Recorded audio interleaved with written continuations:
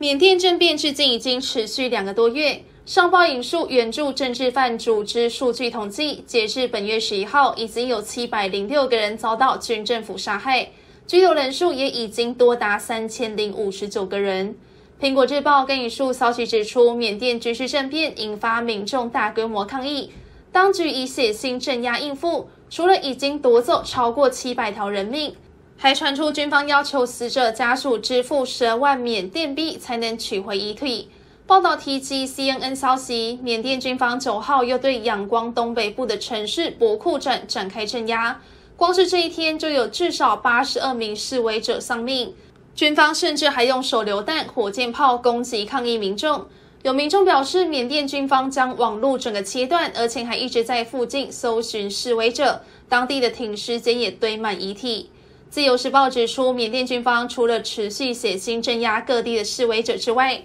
另一方面也不时有消息传出民兵组织杀害军警。缅甸当地媒体就有报道表示，位于印度跟缅甸边境的石阶省塔木镇，本月十号就有至少十八位士兵死亡。但是军警也持续镇压示威者，使用榴弹发射器、枪械以及炸药等各式武器对付示威者，甚至轰垮示威者的路障。而示威者可能为了报复，也有人将手榴弹丢进军用卡车里面炸死士兵。缅甸民兵组织库金民族军也在上周六晚间发表声明，证实有十八位士兵在行动过程之中被示威者以及库金民族军杀害。尽管如此，中国跟俄罗斯似乎没有要压制缅甸军政府的意愿。中央社报道，欧盟高阶官员十一号表示，中国跟俄罗斯正在阻挠国际社会对缅甸危机的回应。欧盟外交与安全政策高级代表波洛尔表示，俄罗斯跟中国阻挠联合国安全理事会对缅甸军政府实行武器禁运。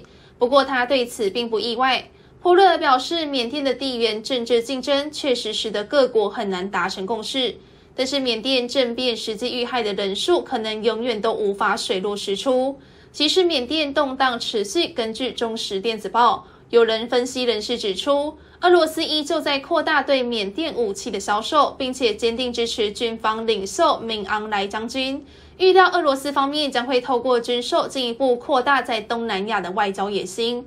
美国之音引述真视资讯集团曼谷安全分析师戴维斯的说法指出。莫斯科除了希望促进跟东西的关系之外，莫斯科显然也希望通过武器交易强化跟缅甸军方的关系，主要向空军，其次向陆军销售武器。根据路透社消息，目前被军方关押的缅甸全国民主联盟领袖昂山素基又被加控一项罪状。他的律师明敏俊表示，昂山素基今天以视讯方式参加法庭聆讯。他在被加控一项跟自然灾害管理法有关的罪名。报道表示，控罪与新冠病毒疫情之下的规则有关。林明俊表示，昂山素基在向法庭要求，希望他可以亲自跟律师会面。而根据了解，他下次聆讯的时间将在本月二十六号举行。